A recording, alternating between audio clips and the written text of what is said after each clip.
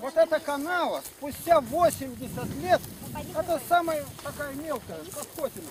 И вот она, посмотри, по- вот. И она идет там, скрывается буквально за горизонтом, потом он где далеко лес, вон направо. И она туда где-то уходит. Когда людям показали, где их земля, на это уходило, может быть, 5 минут. Показали, поставили и все. Сегодня землю оформить, мы ничего не можем сделать. 264 подписи надо в Москве только. Все высасывает из человека. Пришло время такое, чтобы отвечать за все пришлось. Вы хотели эту власть, получили. Вот Бог дал людям землю. Это самые трудолюбивые были люди. Вот рядом, смотри, муравейничек какой. Вот. И вот они копали. Копали, конечно, в то время, когда у них было свободно от основной работы.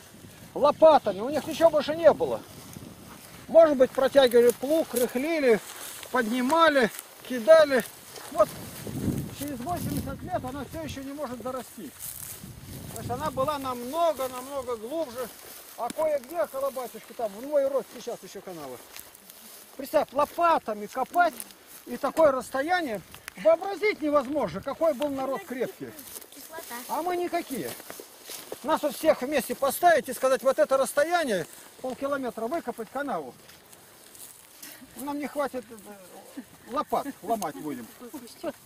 Так что, конечно, страшное дело произошло в России. Но когда вспомнишь, когда раскулачивали, кого раскулачивали? Трудолюбивых. А кто? Те, которые хотели власть советскую.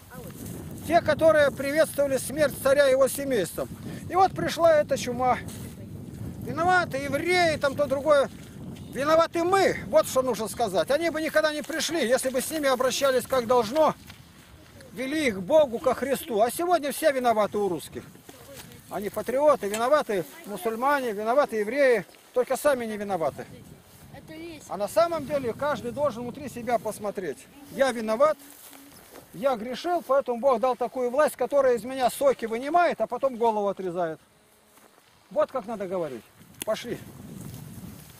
А сегодня-то мы гнилое поколение. А вон такой наплечник, можете его сорвать? Ну, пошли.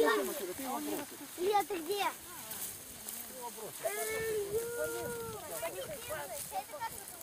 Свобода Франции.